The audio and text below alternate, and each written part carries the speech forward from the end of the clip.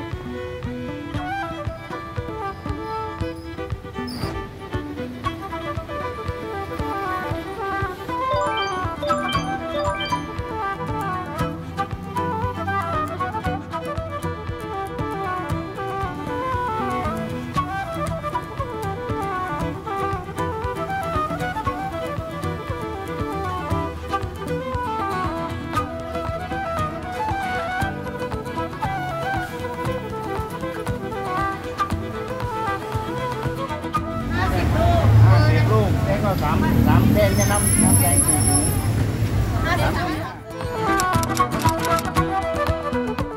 กินมายี่สิบปีแล้ว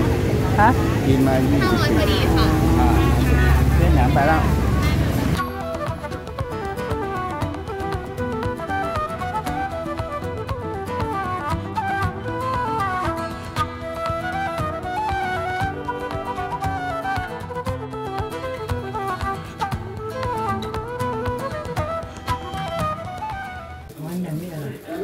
เอาปลาดูหน่อยมีอะไรบ้างอ่าดูว่าร้อนป่ะ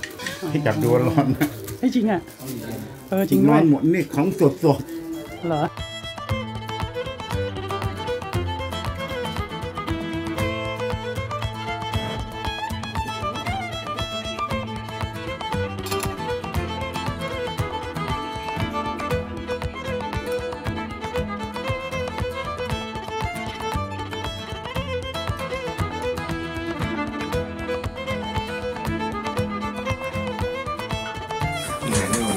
มันนวดตาเบด้า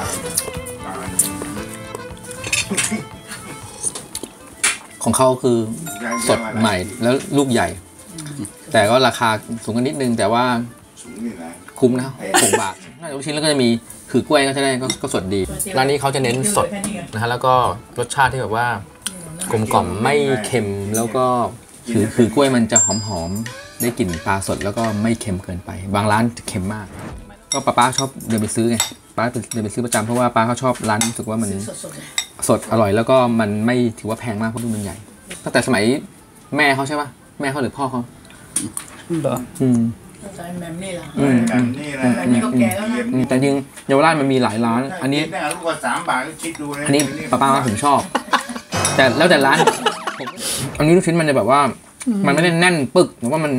ต้องมากินมันดึงๆน อกดิอ๋ออืมของนอกก็ จะเป็นแบบเนื้อปลาสดล้วนๆแบบทำทุกวันทำปุ๊บขายหมดขายหมด อืม ไปช้าก็ไม่มี ต้องไปเร็วๆมันซื้อประมาณถ้าก่อนสิบโมงแต่ละร้านลูกชิ้นปลามันก็มีลักษณะ character ต่างกันก็จะชอบนะไว้จะพาไปกินให้ครบ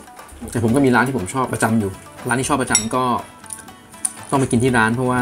ซื้อกลับบ้านมามันไม่เป๊ะ